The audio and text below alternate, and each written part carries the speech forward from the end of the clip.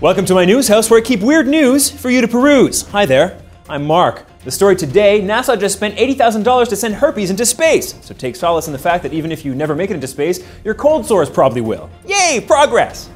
Yes, indeed, NASA is spending 80 large to study the effects of spaceflight on about four different strains of the herps. Why? Because we all have herpes. Seriously though, some estimates place 80 to 95% of the general population as infected. BT dubs, if you've had chickenpox, you've had the herps. Chickenpox is a form of herpes, and it's not because preschoolers are promiscuous. What? I said they aren't promiscuous. But astronauts are a little more at risk than others because low gravity and radiation cause significant mutations and reactivations of the herpes virus. What was that? Space, herpes.